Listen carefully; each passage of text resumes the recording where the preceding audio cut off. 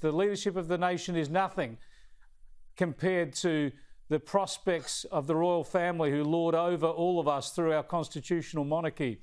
And I want to show you a snippet of an interview that's about to air in Britain with that Harry who used to be a prince. Have a look. Both Meghan and I had tea with her, so it was it was really nice to catch up with her. And you know, home home for me now is is, is you know for the time being it's in, it's in the, it's in the States. States. and it really and it feels that way as well. Does um, it? Yeah, we've been welcomed with open arms, um, and it's got such a great community up in Santa Barbara. So, so you feel like good. that's home more for you? Yeah.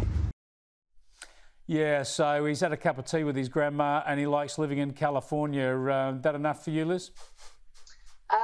Look, the, the sooner we just forget these people even exist. It was only a year ago this guy had this massive witch fest on Oprah, Chris. You'll remember that.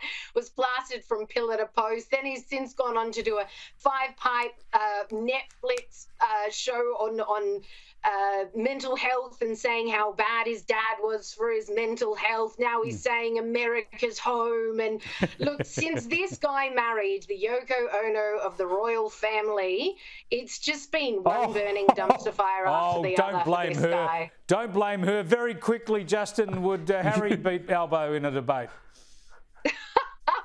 you leave uh, Yoko out of this. Um, yes. uh, no. Uh, oh, yes, I think he would. Yeah, I think he anyone would. would beat Albo in a debate.